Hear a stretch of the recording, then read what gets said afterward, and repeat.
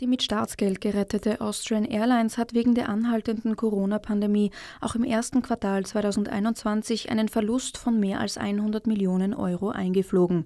Der Flugplan bleibt drastisch ausgedünnt. Die hohen Infektionszahlen und Reisebeschränkungen in Europa bescherten bis März einen Passagierrückgang um 84 Prozent im Vergleich zum ersten Quartal 2020, als Corona sich begonnen hat auszubreiten.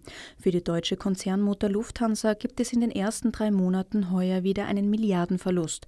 Bis Ende März hat die Auer 308.000 Passagiere befördert. Zum Vergleich, voriges Jahr im ersten Vierteljahr waren es 1,9 Millionen gewesen. Auf 106 Millionen Euro belief sich der operative Verlust im ersten Quartal 2021. Im ersten Quartal vorigen Jahres lag der Verlust bei 136 Millionen im sogenannten Adjusted EBIT, das Ergebnisse aus Flugzeugverkäufen bzw. Bewertungen exkludiert. Der Umsatz fällt im Jahresabstand um 79 Prozent auf 61 Millionen Euro.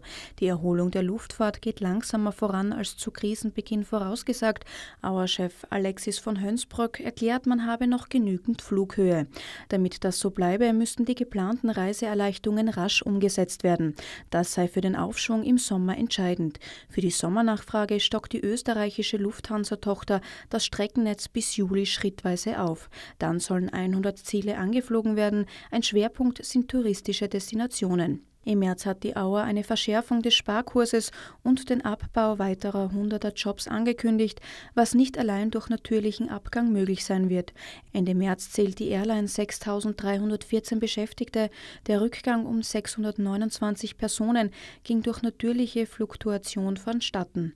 Für das Auer Management ist eine Verlängerung der Kurzarbeit bis 2022 unabdingbar.